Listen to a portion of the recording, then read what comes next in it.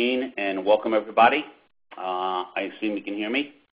Uh, today we're going to talk about working with Oracle Clinical and RDC, specifically the flexible study design feature that was added into Oracle RDC as part of Release 4.6.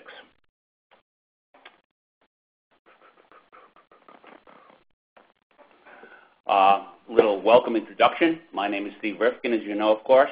Uh, I have about 15 plus years, almost 16 years of experience working with Oracle Clinical, TMS, and RDC. Uh, originally, I was working with Oracle as an Oracle Clinical Consultant when the product first started in approximately 1995, and have worked with BioPharm uh, for the last, uh, I guess, almost 11 years now. I've done database design, study setup, custom study conduct, custom coding, whatever needed to be done with the Oracle Clinical suite of products I've been involved with over the last 15 plus years.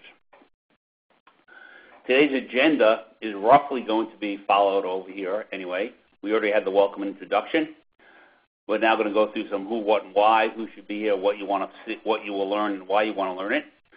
Then we're going to go through a discussion of flexible study design and also doing demonstrations as we're discussing what flexible study design actually is. Then we're going to back up a little and go through the setup steps that you would need to get to what we were demonstrating. Finally, we have some time for question and answers, and there'll be a wrap-up and contact information. Hopefully, we will finish up uh, 11 o'clock without, without difficulty. Okay, the who, the what, and the why. Well, who is the intended audience for this, for this seminar, for this webinar? Basically, it'd be the current Oracle Clinical RDC users who are contemplating an upgrade to version 4.6. Uh, 4.6 has been out now for about maybe a year and a half, maybe two years, uh, and it's the current version. Actually, 4.6.2 was the current version, but the new features in 4 were all put into 4.6 for the most part. Also, we want to talk about new users of Oracle Clinical RDC 4.6 who want to learn more about flexible study design. These are users who have just installed Oracle Clinical RDC and are still undergoing a little bit of a learning process. As we all know, uh, the learning curve for OC is, is quite, quite steep. We also want to talk about uh, who should be seeing this class are the non-Oracle Clinical RDC users. These people may be evaluating the features of the application, trying to decide whether they should use, that, use this application or another Oracle product such as the InForm or uh, even possibly a competitor. I hope not, but possibly a competitor. What, what features are we going to examine today? Well, we're going to basically demonstrate flexible study design and I'm going to show the ability to uh, enable the expectedness or disable the expectedness of complete forms or maybe sets of visits based on response data in, that's been entered into the RDC system. We'll also talk about how to set up a flexible study via the enhanced DCI book. And finally, uh, we'll talk about the why, why, why these features are important to you, because many organizations need the ability to create a study schedule which is very, very flexible. Uh, in complex trials, you really don't know exactly what the pathway of CRS and processes and procedures are going to be until you start acquiring some data. In the non-flexible study, you were basically expected, you listed out what you expected every patient to undergo and could modify that through validation procedures to some extent to change the DCI book assigned. But for the most part, it was not dynamic. In uh, or in uh, flexibility design is dynamic scheduling, and it's especially important uh, where the sites will form the entry in an EDC system such as RDC, because then the user to be uh, presented only with the forms and visits that, that they need to respond to. Uh, the features I'm going to talk about are actually only going to be available in the EDC interface, in the RDC interface. Within Oracle Clinical itself, that's the way you do all the setup for the flexible study design, but you only see the results of flexible study design when you're in the EDC interface. Well, what is flexible study design? Again, prior to release 4.6, Oracle Clinical required a very strict navigation through a set of defined pages and visits and, the, and events that were listed in something called the DCI book. Some trials require a complex or flexible studies may have different treatment arms. Maybe have multiple treatment arms. Maybe different patient groups. Maybe the treatment arm itself might be uh, determined upon might be dependent upon a change when the data entered for the patient in the screening visit or, subsequent treatment visits are different. They're assessed. So you make an assessment, you decide what to do. Should you continue the study or go to another treatment arm, go to another, uh, another regimen perhaps, uh, terminate from the study? These are all things that are very complex definitions. They're usually made uh, previously by the investigator saying we can't go on. Here we can have more, more automatic and more dynamic assignment based on the study rules. And again, it's going to be quite common for oncology trials, much more than uh, simple trials. Flexible study design in version 4.6, release 4.6, allows multiple pathways to be defined in a single DCI book. But when you define that book, you're going to be defining rules which basically provide conditional logic based on the data entered for a specific patient. That logic will either enable or disable either sets of visits or perhaps even specific CRFs within a visit for that patient. So different CRFs become expected based on the data that has been entered for the, for the uh, patient. Also, the RDC interface is now going to have a dynamic display. So when data is entered for a visit or for a form in a visit, and that data determines the expectedness of other visits or other forms, there's dynamic update of the RDC display as that CRF data is saved into the system, as it's entered and saved. And we're going to be demonstrating all these things right now. And before I start the demonstration, I want to talk a little about the study which I've set up in our training database uh, and how it looks. It's a pretty simple, complex study, I guess is the best way of saying it. Has a screening visit, and depending upon the screening visit, uh, a person will be assigned either to Arm A or Arm B. Arm A is defined to be three cycles, and each cycle has three visits for treatments and a fourth rest or interim visit. Uh, treatment B had only two cycles planned, but there were going to be four treatment visits and one interim visit. Both arms have a completion visit, a completion form, and also log visits. AEs and ConMeds, for example, might be collected in the log visit. Well, given that, what are the rules that we want for this example study to follow? Until that is entered for demography form, we only want to have the screening visit expected. If the person doesn't pass screening, we don't want any other information being requested or being expected. Once the demography data is entered, though, uh, we do want to enable a completion and log visits. We want to basically enable two other visits in addition to the screening visit. The enrollment CRF during the screening visit is going to determine whether or not the person is scheduled A, cycle A rather, or, or arm A rather, arm B, and that will uh, schedule the first cycle for either arm A or arm B, depending what cycle they're put in. If they're not put in any cycle, they're not enrolled in the study in the enrollment form, they basically will have just a study completion form is the only thing that's going to be needed. The third rule that we have is that when you respond to a question during the interim visit, which is the rest visit in a cycle, it's going to say, do you want to continue with the next cycle? If the answer is yes, if you're in cycle A, it will schedule cycle B. Uh, cycle 1 will schedule cycle 2, et cetera. 2 will schedule 3. If you say no, it's going to basically make those other cycles unexpected or not required, not expected, and you will move to the completion and termination logs as the only other visits. If during a treatment visit uh, you're not given the treatment, perhaps your blood counts are too low, you're going to basically terminate any other, no longer expect any other visits within that treatment cycle, and basically have the subject complete the study completion and the log forms at all. And finally, if treatment is given, you're going to have a new CRF enabled for that visit, which will basically record some information about the, the drug dosing, et cetera. So these are the five rules that we're going to follow with this example study. Now let's follow the first rule. Only the screening visit is expected until data is entered on the demography form. When you enter demography, it's going to enable the completion and log forms. So screening, the only one that's going to be visible initially. When we enter some screening data actually in the demography form, we're going to schedule the completion and logs visits. Let's see how that's going to be done. let's see how that actually is affected. Here we have Oracle Clinical RDC interface, and I'm going to take patient number one, and I'm going to press go. Uh, that's right, because I timed out.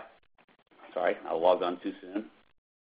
So let me go to here again. Hopefully there. Oh, God.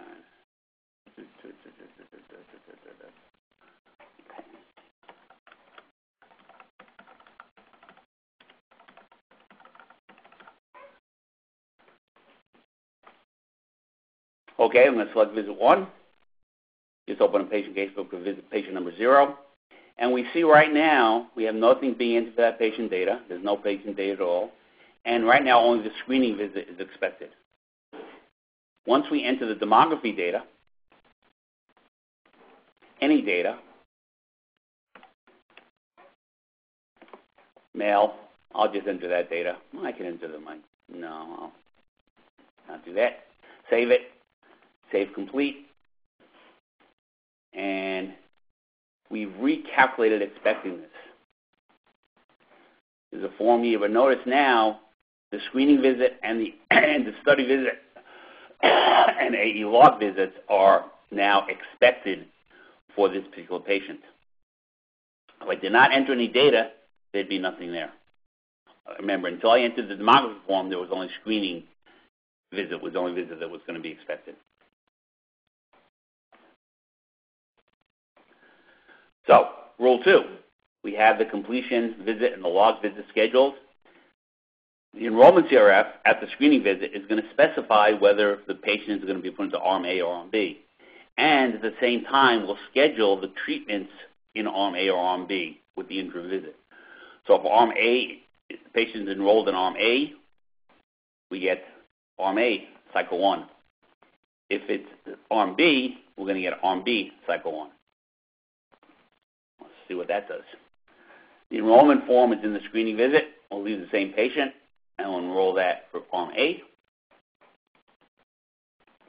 And we see we're going to enroll yes in Arm A. And if we save, save complete. When we come back to this particular patient,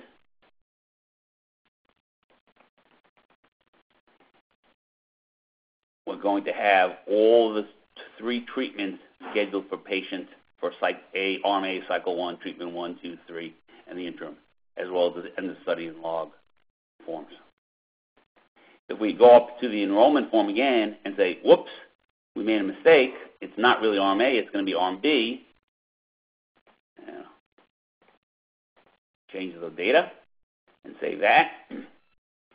Now we're going to see that arm B is expected four treatments in Arm B with the interim treatment. These are the expected visits. Dynamically changed what was expected.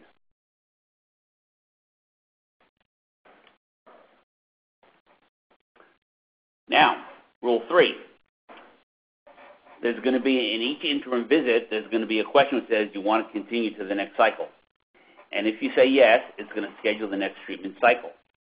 If you say no, we're going to continue the next cycle, but we're going to we're not going to continue the next cycle. We're going to bypass all the remaining cycles and go right to the completion form. So let's try that. We have enrollment A. Let's go to the interim treatment for the B cycle. And we'll human interim is where that's going to be requested and we'll say continue the next cycle, yes. And we'll save that. Well, it's got the visit date.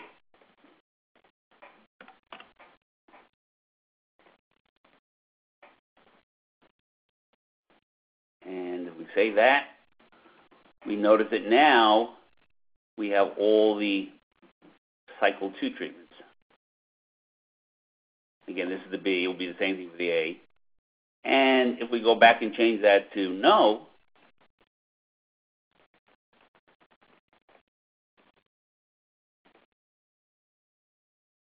and save. Whoops. Notice the cycle 2 treatment is no longer there. It expects to go right to the end of study log. Nothing else is expected. And that's exactly what we wanted to do with Rule 3. We did the demonstration. Now, Rule 4 says that if we give no to a give treatment in any treatment uh, visit, it's going to bypass remaining visits in the cycle. You may decide in the middle of a treatment cycle that the blood count is too low, the response is too poor, it's too dangerous, you can't continue, so you want to stop. At a treatment visit, just say no, no more, and the thing stops. So we can do that again. We can go to, let's schedule visit two, cycle two. So we'll say yes. And we see cycle two is now scheduled. So cycle two is scheduled. And we're into the treatment one, first treatment visit of cycle two. Now I have a hemodose. And we see that should drug be given this visit? No. Give a visit date. Save it. Save complete. And when we close the form out, we now see that there are no more visits expected in the second cycle, in cycle two. Because the rule says once you don't give a dose at this particular study, you're out of the study. You're, you're, being, you're going to be dropped, terminated. That's the next rule. That's this rule four. Rule five says that if we do give the drug in a visit, we want to schedule another form called an infusion form. So if the drug is given during a visit, you don't terminate the uh, remaining treatment cycle, but you also will now schedule a new form to be completed called the infusion form. And we can use the same hemodose. We'll say, let's go up to hemodose, and let's say we want to give the treatment. When we do that,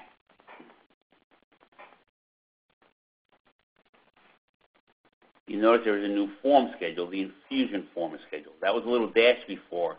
It was not expected to be entered until the Um, dose was, the drug was said to be given at a particular visit. That's the fifth thing that we get to the demonstration on. We've basically gone through the how the interface looks, how it's dynamic going on as data is being entered for a patient. Now, that was all in RDC. Again, you cannot see any of that flexibility, any of that dynamic nature if you're using a non-flexible study in, Oracle, in either in Oracle Clinical or through RDC. You cannot see it unless you are using RDC. RDC has the, the dynamic display. If you're using a paper study, it doesn't work at all like this if you're using Oracle Clinical Data Entry. It will also not do any uh, work if you're using uh, classical mode entry in RDC. I'm not, although to be honest with you, I'm not sure that's supported with 4.6 anymore. Uh, I'd have to check back on that. But now that we've seen what this can do, let's talk about how we set up a flexible study. What setup work you have to do within Oracle Clinical through some new Oracle Clinical functions that are on the main menu to set up a flexible study. First thing we need to do is identify the study as flexible during the initial study setup. Basically, that's a setting in the clinical study state screen. you can set it up to uh, automatically define each study is, is flexible, but there is a new prompt in, in Easy Study Design which says, do you want to make this study flexible or not? And if you say yes, it will make the study flexible. Then we need to define the intervals and the clinical planned events for the study. And then we need to set up the enhanced DCI book with the DCI book rule. Again, creating a flexible study, as I said before, is just involves checking off this Flex Study Enabled flag on the clinical study state screen for that specific study. Again, during Easy Study Design, there'll be a new question which pops up. Do you want to make this a flexible study? You say yes, it's flexible. Only restriction is that you cannot have page tracking and Flex Study enabled defined at the same time. It's one or the other. Flex Study design is uh, inconsistent with CRF page tracking. That's not a big deal because most people don't use CRF page tracking anyway. Not what it sounds like. So most people don't use it. Uh, the other restriction is you cannot change the Flex Study Enable flag, either making it, you cannot enable it, I guess, if there's any uh, data which has been acquired in the system already. Any, you know, received DCMs, received DCIs have been entered. Let's talk about intervals. An interval has always existed within Oracle Clinical, but it was never really used for very much. It only made people confused and typically was not used. But an interval is basically a span of, a span of time in which there are going to be one or more visits or clinical plan events.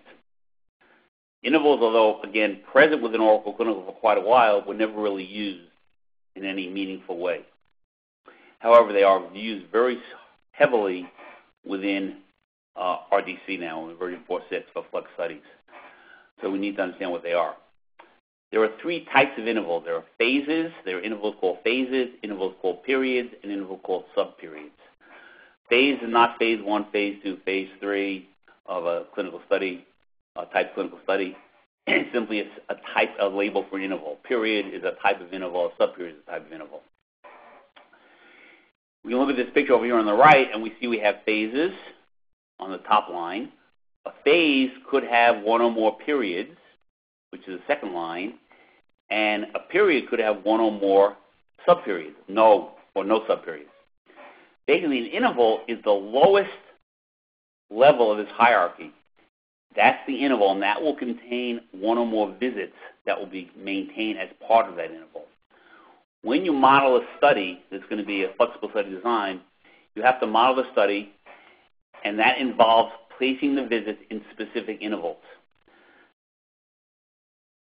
because these intervals are the groups of visits that are going to be enabled by the logic in the flex study design rules that we're going to talk about in a little while.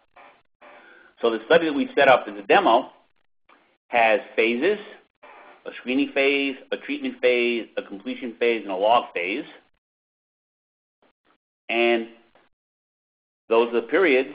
We have two treatment phases. We have an arm A period and an arm B period.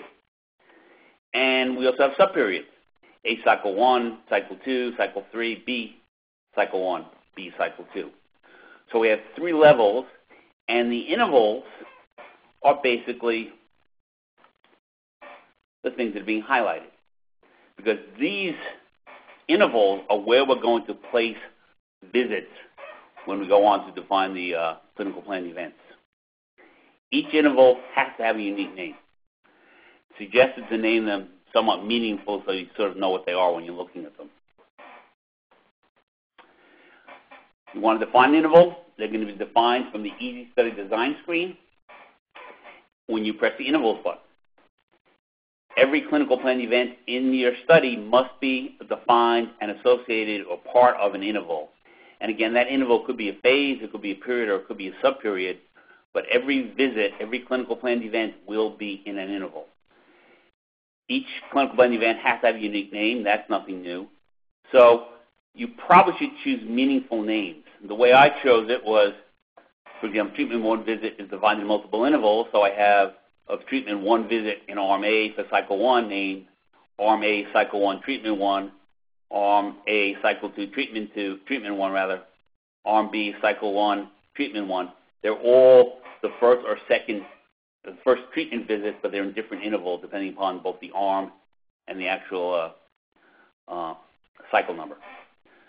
Visit number field needs to reflect the sequence and the schedule, but really may not reflect the exact sequence of events for the patient. For example, if you have two arms, as we do here, you could have visits number 3, 4, 5, and 6 in cycle A, uh, visit in, in, cycle 1 rather. Next three visits could be in cycle uh, two, etc. But arm B might start off cycle 15, might be visit number 15. So you have to take care about that as well. But again, they should be sequential. Duration fields are required, but again, they have no real effect on flexible study design. If you remember those forms, if you looked at them for Oracle Clinical, they have min and max offset from beginning of phase, beginning of interval. They can be filled in. They are required, but most of the time they're not going to be used at all. The scheduling report doesn't really work anymore as it did before. Next thing let's talk about is the enhanced DCI books. This has four sections. It has a navigator section, a constraint section, a rule section, uh, both interval rules, and a DCI rule section. The enhanced DCI book is actually uh, brought up uh, for both flexible and non-flexible studies. In non-flexible studies, you will not be able to define interval rules and DCI rules. Although the DCI book, the regular old DCI book, still exists, the enhanced DCI book gives some benefits of things you can do. The navigation is a little more straightforward uh, in the enhanced book, so you could use that for non-flexible studies as well. But DCI books, the plain old DCI books, can be used for non-flexible, but cannot be used for the flexible study design. Uh, the constraint section is the same as it is for the uh, old DCI book. There's no increase in flexibility there at all. And we'll talk more about rules as we go on.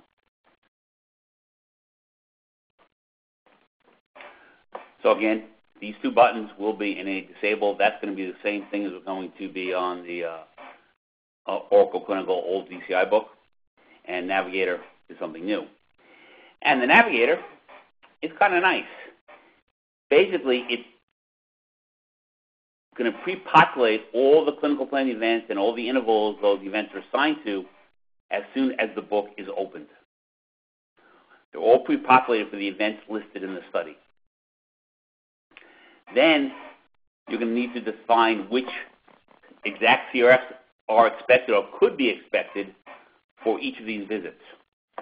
These is the visit number. Again, that's brought up from the clinical plan event screen. And these are updated visible uh, uh, a view-only screen. They're updated continuously, dynamically, as you actually add a clinical plan event to a, a specific CRFs to a CPE. So you select a visit and then press book pages. And when you press the book pages, it will bring up a page which looks like this, where you basically list all the forms that might be expected at that visit. Okay? And then what's nice is you have these two buttons, previous CPE and next CPE, and then it will bring up the forms for the next clinical plan event, or this course is the first one for screening, or previous, going back one. So the navigation is pretty straightforward. And I think it, you'll probably want to use it even for non-flexible studies. Now, book rules. This is the new stuff. Book rules are going to be available only for flexible studies, and they apply to all patients assigned that book. It's generally expected that you will create one book for the study, and all patients will be assigned to that book. And that book will contain rules which will define which visits will actually be expected and which forms will actually be expected. Interval rules basically enable or disable an entire interval. So it will enable a whole set of forms or disable a whole set of forms Uh, or part of a form, part of a set, and depending when, when the trigger executes. DCI rules enable a specific DCI. The DCI could be within the current visit, so enable this for this visit, enable this infusion form for this particular visit, or it could be something that occurs in one visit and you want to enable in all future visits where that DCI has already been defined. Remember, the DCI book is going to list all the possible, the superset of what you might expect a visit. So any page, any visit rather, where that new form is enabled, you can say, I want to enable this particular CRF over all the visits that have this DCI. And the rule determines what Oracle now calls expectedness expectedness. They created a new word for us. Fortunately, it's not an acronym. Interval rules. All intervals are considered enabled as the target of an interval rule. So basically, that means when you first set up your uh, your DCI book, before you enter any data or create any rules, it acts like a regular non-flex study book. Everything is expected. All the visits are going to be there. All the forms are going to be there. Then interval rule is going to be specified for a specific DCI. So you pick up a DCI like we picked up demography, and we're going to apply that to all visits where that DCI is entered. Now, in our case, demography was only one place, but it could have been something done on, like when we had the multiple hematology, interim visit. We define it for a specific interim visit, we respond in a specific form, that's over multiple visits, that rule is going to specify all the visits with a D. It's going to be applied over all the rule, all the visits with the DCI is entered. Then, depending on the DCI, you, the trigger will determine if an interval is enabled or not. If it's enabled, it will appear, the visits will appear. If it's not enabled, it will not appear. You can trigger an interval when any data is entered into the DCI. You can also trigger an interval when there is a specific response to a question. Uh, that question has to be related to a DVG, but there are ways to uh, using derivations to trigger it or to have a trigger of an actual value, like less than 20. You don't want it to uh, do anything. And trigger actions can be enabling one or more named intervals, enable the next interval, or bypass to a specified target interval. When you bypass, you basically disable anything between where you are and where you're going. Enabling one or more target intervals, you're enabling multiple times. Enable next interval, the next cycle, the next highest set uh, visit numbers. So we look at the rules. Before we define any book rules, all DCIs and all CPEs and all intervals will appear in the RDC surround. So before we any, define any rules, all the rules we set up in our, our sample study are there. Then we're going to debate a rule. We're going to say, hey, let's look at the demography form. Rule, enable the completion and, log, completion and logged intervals if any data is entered on demography. So the trigger, and again, this is going to be pressing the uh, DCI rules button. The trigger says for demography DCI, if there's any data, and there's a selection screen here, an LOV here, then we're going to enable the completion and log DCIs. Again, there's a selection screen here, and you have a multi-select, and it separates by comments. And this is basically just a description, which is free field. Now, when we look at it, before demography is entered, we still see all the, well, no, we see all the treatment visits. We don't see the logs and completion intervals or completion visits because now these two intervals are a target of a rule. They're the target of this rule. So they don't appear now unless that trigger actually executes. When we enter demography data, those two new intervals will appear. But again, these treatment visits still exist because they're not yet the target of a rule for an interval.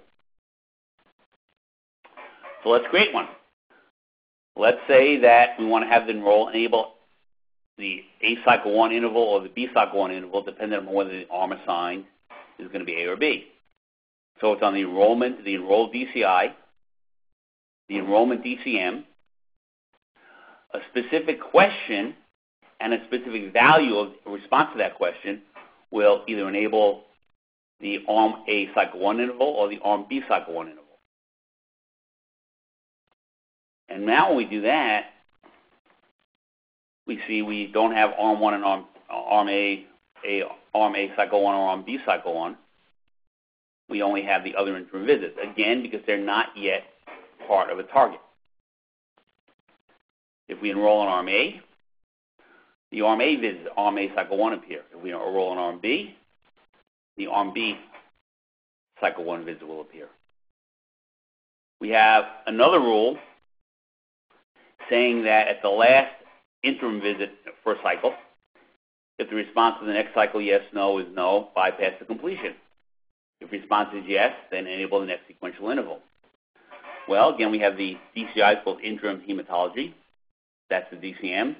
that's the question name, and that's the value, yes or no. And if it's no, we're going to bypass to the completion.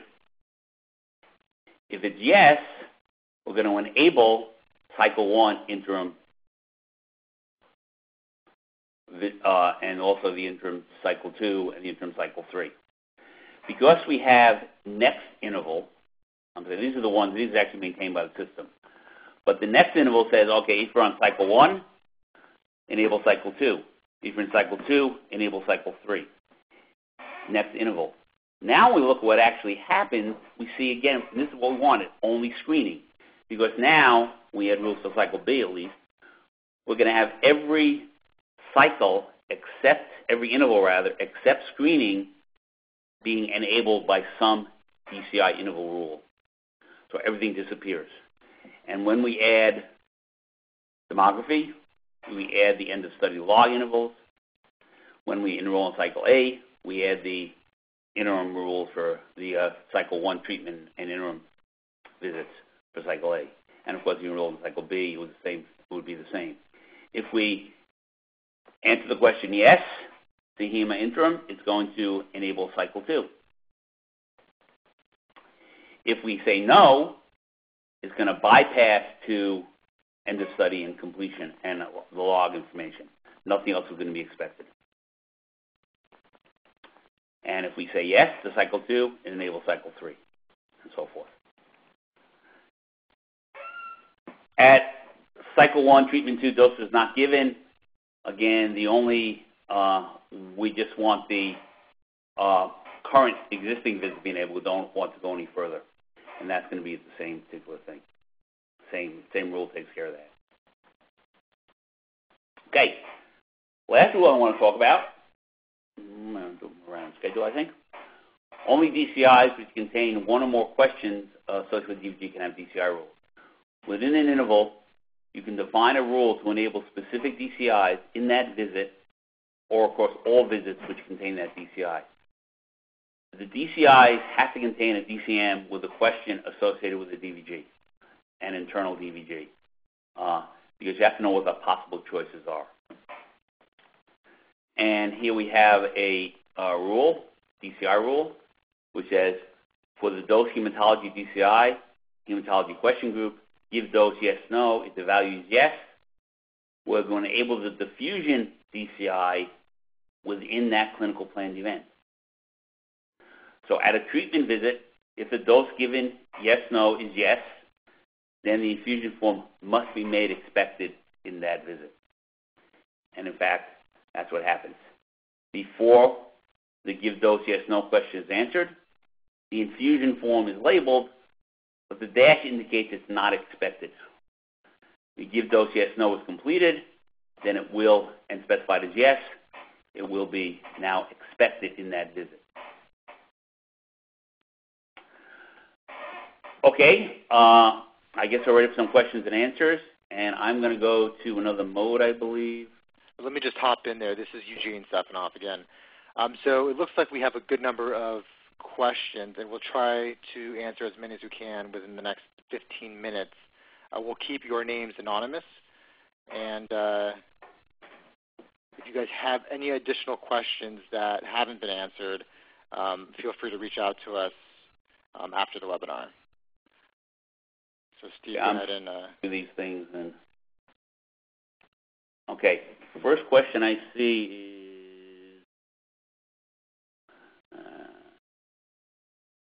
looking at these are ones related to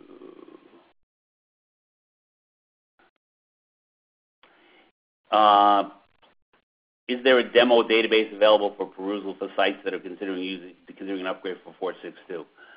Uh, basically, maybe. uh, contact us and we'll see if we can give access to our database. It might be available.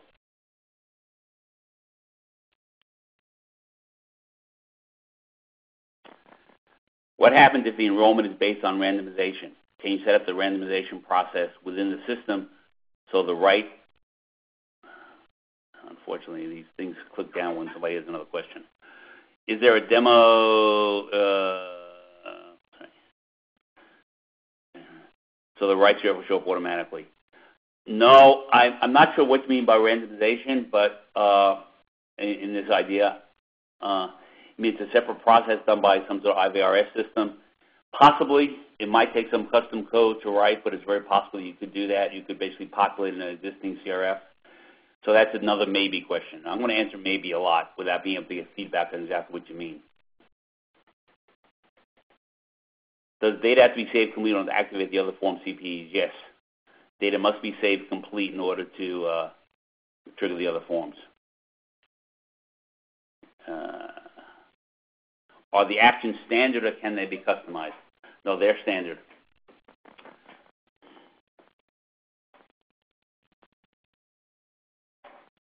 I'm going to disable the chat now. Will you be sharing the slides? Uh, they'll be available. The recording of this will be available. The slides will not be shared. Do you think flexible setup design would be beneficial?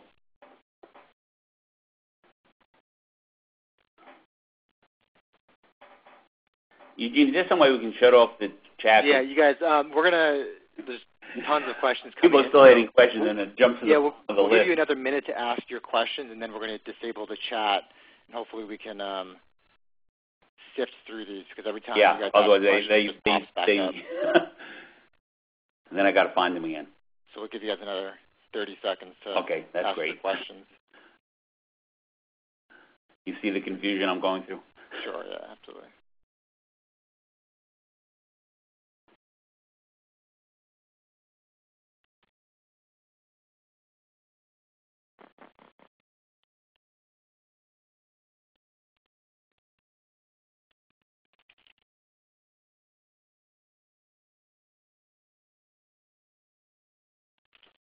All right, so we're going to go ahead and uh, disable it. Disable the chat. Okay. Steve, you probably can't sift through them now, right? I can't go through. Okay, them. so I'm going to go ahead and uh, ask the questions, and you can try to make out the okay, answer. that's great. Um, okay, so let's see. Is it possible to make DCMs visible, invisible in a CPE based on data response? On date of response. Possibly, again, you'd have to write a validation procedure to, or actually a derivation procedure to look at that data response and populate a derived question associated with the DVG saying yes or no.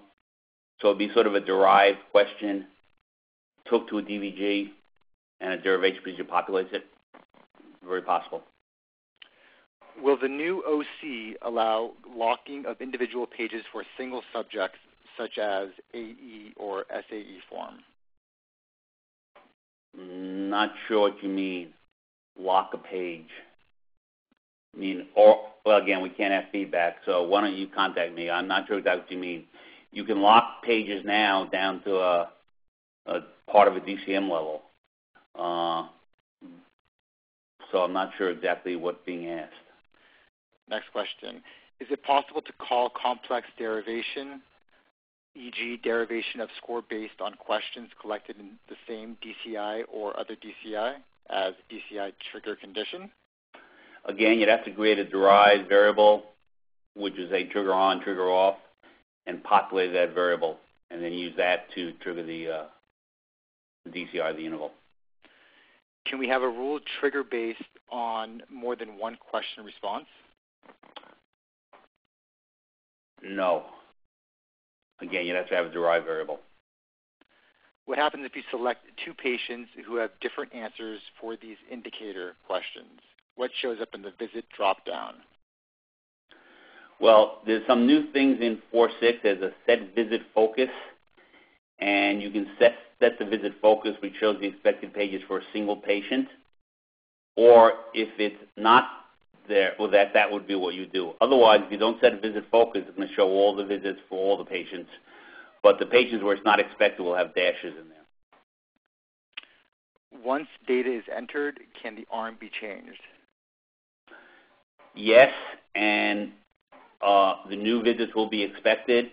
The old data is not deleted. It shows up as basically uh, unexpected, unplanned pages.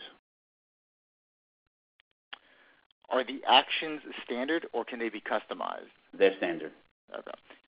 can you clarify the difference between a trigger condition and a trigger action? Is there a place where these are noted, identified as one or the other?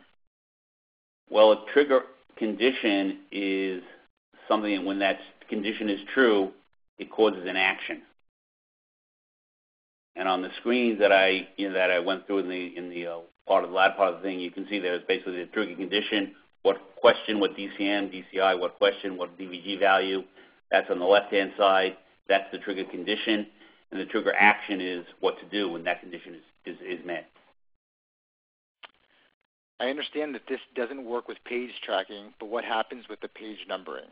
We put that in footer for PDR, but it seems like it probably shouldn't be used with flexible studies because they could have different numbers for the same RDCI for different patients. That's true. You still have page numbers, uh, but they don't have the same meaning. And again, for there would be you know missing page numbers. They'd have one to fifteen, and then up to thirty-five, depending on what their stuff is. So that's correct. Do you think that flexible study design would be beneficial for paper studies not using RDC but just OC? It has no effect in just OC. It has no no utility at all. The DCI book might be useful uh, to set up your you know your your your studies because it has some nice features in there. But you will not see any flexible study design, no dynamic nature in a, in a paper study at all. All right. And uh, if you answered yes to Form A to continue to the next cycle and expected visits shown up, data was entered for the next cycle, and then you went back and clicked no. Okay, this is a very long question. It's a little confusing, so okay. probably have to get back to you on okay. that one. Um, how will the dynamic setup impact edit check programming? Uh,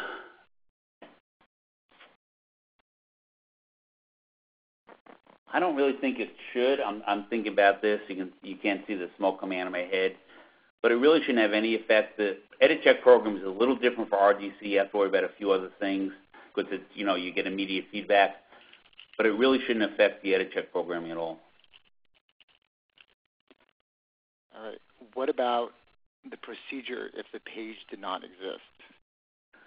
Missing pages again. Uh, depending on how the procedure is set up, it may or may not fire a discrepancy or create a derivation. If you want to do that, uh, you'd have to write a derived, again, a derived variable to cause the trigger to occur. With flexible study design, will the missing and overdue DCM report still function correctly? I don't think so, but I'm not sure. All right. It looks like we got through the first set of questions before we turned off the uh, the chat. I enabled the chat, so if you guys have some more questions, we could probably answer several more before we uh, end the session. Uh, can a trigger question, question, be a repeat in a re repeating question group? No. I mean, it can be. You can have a. Um, I'm just joking. Uh, I'm not sure. I was answering another question. uh, it can't be used in conditional branching. Can it be used in a repeating question group?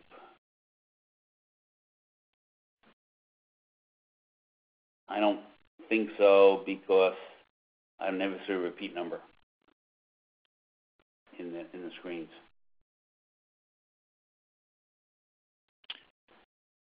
All right, the next question Study design work in the same way in test mode. I don't know.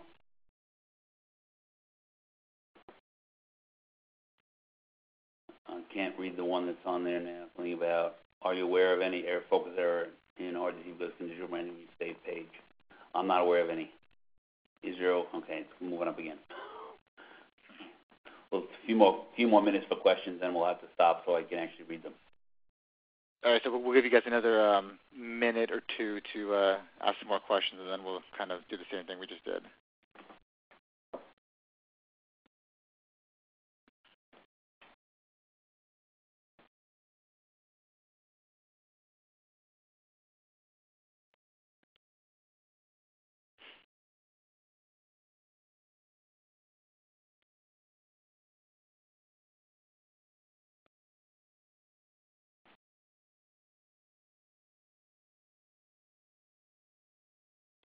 30 more seconds.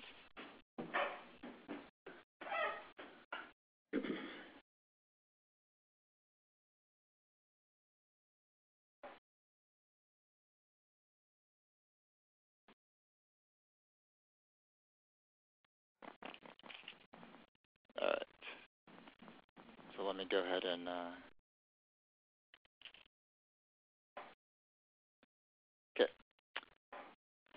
Just want to comment, there's a thunderstorm brewing here, and sometimes our electricity goes out, in which case we lose everything. hopefully that doesn't happen. But we only have a few minutes, so hopefully it won't it won't blow out. Okay. Does flexible study design work the same way in test mode? I don't believe so. I, I would try it. I'm not sure. Could you please send the link to the recording of today's presentation? We will be sending uh, the presentation to all participants within the next 24 hours. Is there no way to add different page numbers per arm similar to using selections with different page numbers within Word? I don't believe so. Are you aware of any focus error in RDC because of conditional branching when you save a page? I'm not aware of any, but I don't follow the bugs, so very carefully. You had indicated that the flexible study design cannot be turned on in clinical study states if at least one RDCM had been received. Is there any work around this?